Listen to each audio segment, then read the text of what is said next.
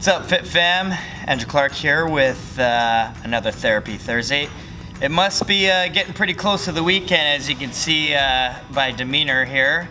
Um, so, what we're working on today is a hip stability series part one. Now, the reason why this is so important is, uh, let's say you're into the gym and um, you're really having trouble with either squat technique or you're finding that uh, you're getting some sore knees with some of the, the squat activities or lunges and um, possibly some of the jumping or running as well.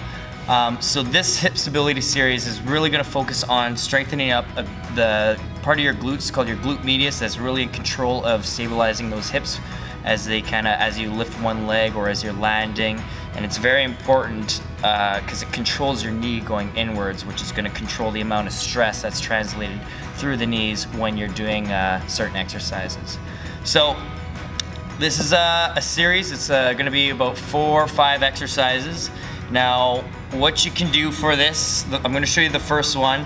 If you uh, if you're doing this at home try and uh, go against a wall. That way it's going to keep your hips stable uh, a lot of time when people do this they actually roll their hips back and you're not going to get uh, that same effect and you're going to be doing it improperly and you're not going to be uh, strengthening it or educating it the way that it should. Okay, so the first series, the first exercise here, this is called the clam. So what you're gonna do is you're gonna bring the knees up to about 45 degrees. You want your, your feet in line with your spine. And now what you wanna kinda do is you wanna tighten up right and through here, just on the uh, outside of your hip. And all you're gonna do is you're just rotating that knee up and just make sure when you're doing that, you're not rotating the whole body. You're not rotating that spine or pelvis, okay? So you're just rotating through that hip get a good squeeze, 1 1000, and then bring it back down. And so I would do that for a series of 10 reps. Okay, then from there, what you're going to do is you're going to straighten that leg and try and keep your, your toe pointed down or neutral, okay? From here, what you're going to do, you're just gonna do a straight leg lift, same thing, squeezing it through here, about 15 degrees off the floor, okay? And again, for another 10 reps.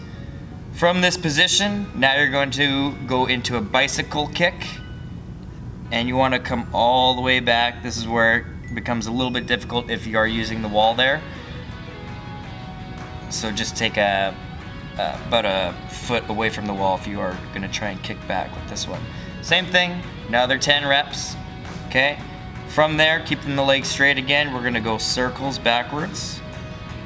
Squeezing in through that hip. By now, this outside hip should feel like it's on fire, that glute medius. 10 reps from there, and then from there you're gonna go circles forward for another 10 reps, and then if you're feeling really dangerous, you can finish off with some wide abductions.